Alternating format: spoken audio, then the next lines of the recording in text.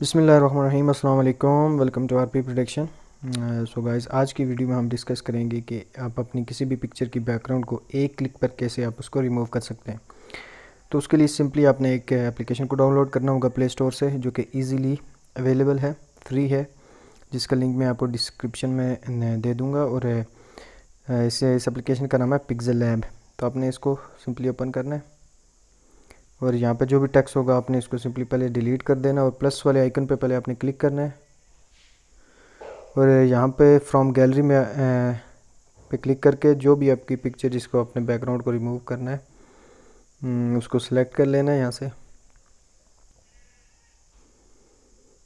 तो सिंपली तो aspect ratio मिलती हैं जो भी आपको चाहिए उस एस्पेक्ट रेशो को आपने उस हिसाब से आपने इसको क्रॉप कर देना है या इसको रोटेट कर देना है या जो भी।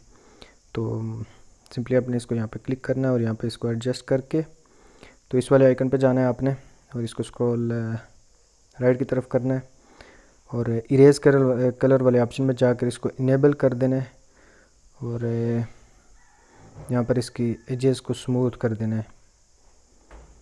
तो यहाँ पर इसको डन कर देना है। इसके में ट्रांसपेरेंट चाहिए तो आपने इसको सिंपली यहाँ पे क्लिक करना है और ट्रांसपेरेंट कर देना और ये आपके सामने पीएनजी की शेप में आ जाएगा।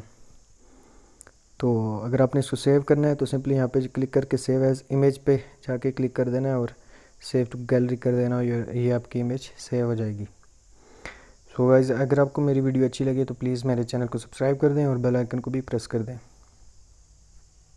मिलते हैं ऐसी नेक्स्ट वीडियो में। अल्लाह हाफिज़।